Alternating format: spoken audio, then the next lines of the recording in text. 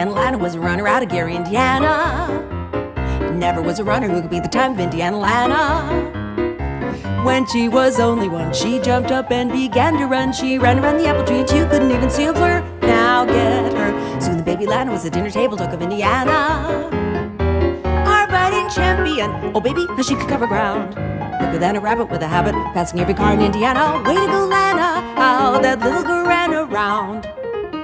Once she started moving, couldn't hardly stop. She raised her brother's pickup truck to the bait and tackle shop. The boys all found it funny till it hurt their pride to see that squirt smoke everybody's ride.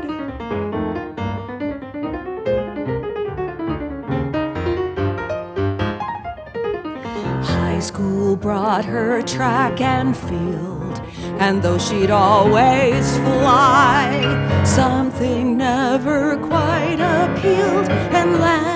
told me why. Pontiacs and Oldsmobiles were really more her speed. She needed horsepower at her heels to revel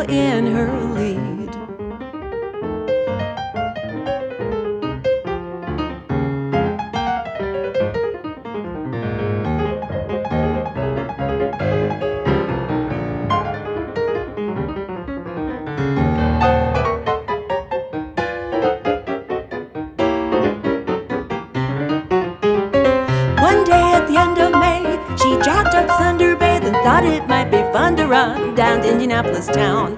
Got to the place where there was a race, onto the speedway, into the lead. Hey, I don't judge, won the Indy 5.